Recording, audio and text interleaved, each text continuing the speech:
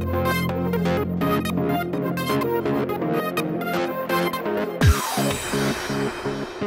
Hi, happy Monday, and welcome to Now, the fun show hosted by me, Curtis P. Now, today we're kicking the entire show off talking about a more serious topic, but the biggest topic in the news today, that being Nelson Mandela's funeral. Tomorrow is the day of the big service with over 100 current and former world leaders attending. The service will take place at the Soweto FNB Stadium, which has a capacity of 95,000 people. And with a service like this, you can expect it to be packed. And because of the number of dignitaries that will be attending, large amounts of security have been brought in to take care of this. Canada's current Prime Minister Stephen Harper and former Prime Minister Jean Chrétien will be in attendance. US President Barack Obama will be there as well to give a special speech. In a true sign of coming together for a common cause, Cuban leader Raul Castro will be at the same event on the same stage, giving another speech, though of course not at the same time. People in South Africa will be able to watch the entire thing on TV or at the many overflow locations. Nelson Mandela passed away on Thursday in his home at the age of 95. Moving into something that will hopefully put a smile on your face, WestJet Canada released their Christmas video today, and the only word that comes to my mind when I watch it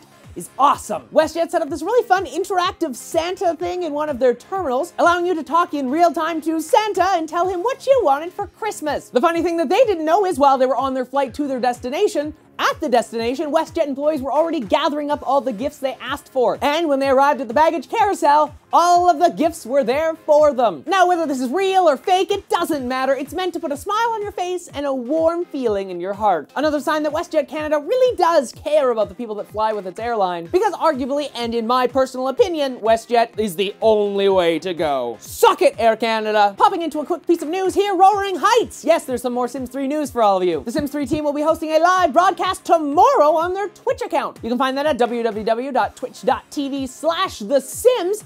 Be hosting it tomorrow, Tuesday the 10th at 10 p.m. Pacific time. Of course, go and check it out tomorrow. It's gonna be tons of fun. I will be watching it. I'll have a recap on Wednesday if you missed it. Hopefully, they'll be talking about, of course, the new town and the new world, and of course, the brand new roller coasters. So tune in tomorrow, 10 p.m. Link down in the description below. A little recap on the weekend here. Looks like Rebecca Black is back in the news because she released a new song.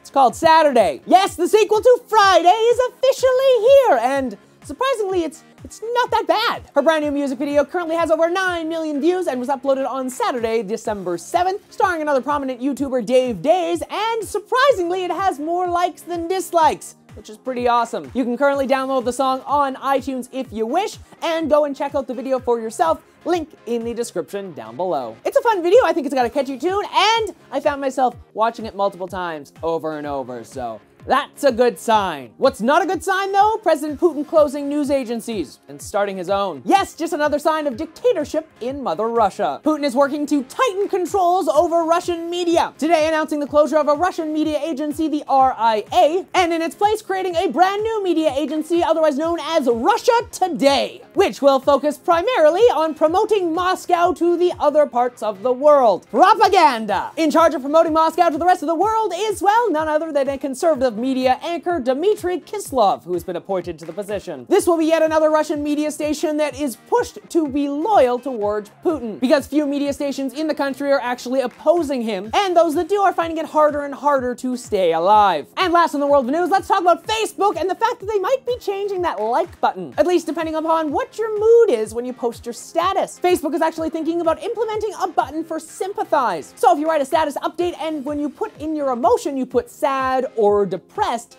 the actual like button will change to sympathize. So if I post on Facebook that I got in a car accident, I'm fine, but my vehicle is totaled, people wouldn't be able to like it, they'd be able to sympathize with me. This being because like is considered very blunt for gloomy situations, such as, of course, death, or like a relationship status change, because that's not something you want to like. Though maybe you do, because maybe you didn't like the fact that those two were together and you like the fact that they're separate. That makes you a bad person. But what do you think about the idea of changing the like button depending upon the mood of the person posting on Facebook? Do you think it's a good idea? Yes, no, whatever do you think?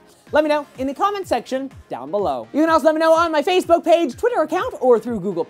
Links to all that and the other topics I talked about in today's episode in the description down below. Check out all the links down there, tons of really cool stuff. Of course, if you enjoyed today's show, why not hit that like button, subscribe, and maybe even share the show with your friends. Until next time, I'm Curtis Paradis, and that's what's happening now.